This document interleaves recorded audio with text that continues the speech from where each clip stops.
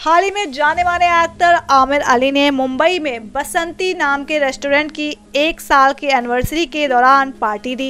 इस दौरान आमिर का अंदाज देखते ही बना। लेकिन अगर बात करें उनकी पत्नी संजीदा शेख की तो वो पति की तरफ़ ध्यान कम दे रही थी और फ़ोटो शूट की तरफ़ उनका ध्यान कुछ ज़्यादा था।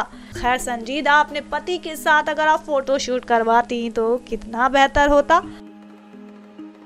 S P N nine newsroom की रिपोर्ट।